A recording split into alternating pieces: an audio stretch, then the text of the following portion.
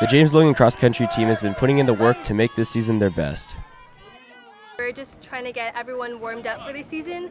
It looks pretty promising and we're just excited for the amount of people that we have doing the sport. Everything's been improving, so that's, as a coach, that's all you can ask for.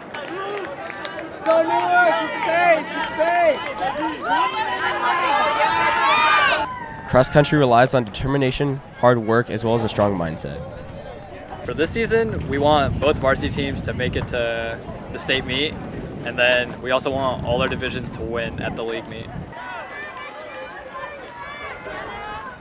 Especially need to grow the women's side, uh, so that'll be a big emphasis during track and, and trying to get more out for next fall.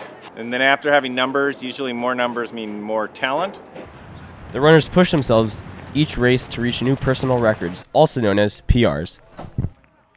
This season has been really good. We've had a lot of PRs and a lot of good uh, good meets. If you're willing to, to try to get better, uh, it's a great sport. You don't have to be good to start. Uh, it's one of those sports where from year to year you'll get better and better just through work. My favorite practice would have to be the long run since we get to go to different parts of the trail and that's also when you get to like run with people and meet them too.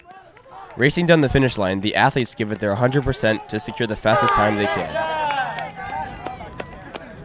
I would say that cross country is definitely a super fun sport. You get to meet so many different people and as well as try something new.